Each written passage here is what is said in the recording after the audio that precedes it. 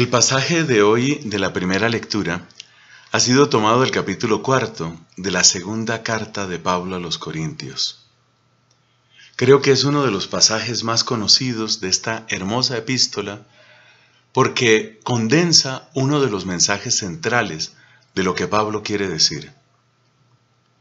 Básicamente es una combinación de realismo y esperanza. Realismo por los múltiples ataques que ya él ha padecido a estas alturas de su servicio apostólico. Realismo porque él no puede negar las cicatrices que lleva en su espalda por tantas veces que le han azotado. Tan reales como esas cicatrices son las palabras de este apóstol. Realismo porque él sabe que los discípulos de Cristo van a tener que pasar por situaciones semejantes y sería irresponsable no preparar a la gente para un ataque tan brutal y tan continuo. Por todo eso, el pasaje de hoy resuma realismo. En otro sentido, este pasaje también habla de esperanza, porque la realidad del ataque no es toda la historia. No somos simplemente gente desechada por la sociedad. Somos gente escogida por Dios. Y ahí está la paradoja. Desechados por muchos, pero particularmente elegidos y amados por Dios. Esa sí es una verdad más completa sobre el cristianismo y también sobre el apóstol. Por eso, el pasaje de hoy tiene todos esos contrastes. Un tesoro en una vasija de barro. Nos aprietan, pero no nos aplastan. Estamos acosados, pero no abandonados. Nos derriban, pero no nos rematan. Es decir, que nuestra vida lleva el sello de la pasión de Cristo. Esa es la parte del realismo. Pero nuestra vida lleva también el sello de la resurrección de Cristo. La pasión y la resurrección, ¿cómo llamamos de una manera breve esa combinación? Eso se llama Pascua. Nuestra vida es Pascua.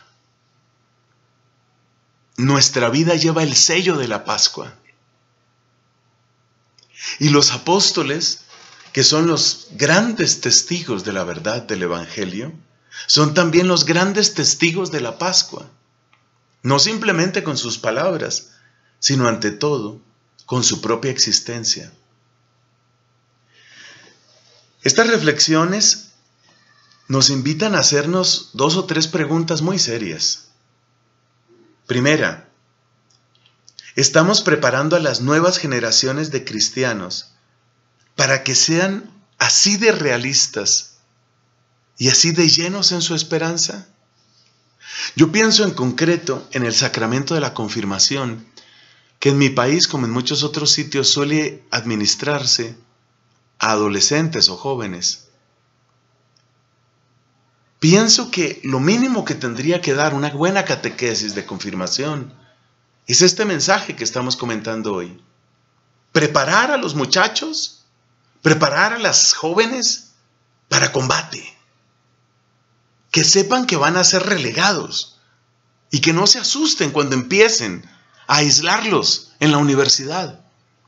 Que no se asusten cuando alguien que hubiera podido ser la novia maravillosa de la vida el novio espectacular de toda mi historia, me rechaza porque él lo que quiere es pecado y yo no quiero pecar. Necesitamos jóvenes que estén dispuestos a saber que los van a desechar, que los van a aislar. Necesitamos esos, esos jóvenes. ¿Los estamos preparando? Segundo, miremos el caso de nuestros pastores. No hace mucho escuché la historia tristísima para mí de un obispo que en una reunión de diálogo con unos musulmanes, no tuvo problema en quitarse su pectoral, es decir, esa cruz que cada obispo lleva al pecho. Se quitó su pectoral, lo guardó, para no molestar a los musulmanes, a los que les talla, les fastidia enormemente la cruz. Eso, eso es dar la espalda. Eso es dar la espalda al mensaje que hemos de predicar. O sea que el pasaje de hoy también nos invita a preguntarnos por nuestros pastores, sobre todo por el deber que tenemos de orar por ellos. Y en tercer lugar, hacernos una pregunta. Si no me están persiguiendo, ¿será que soy de verdad discípulo?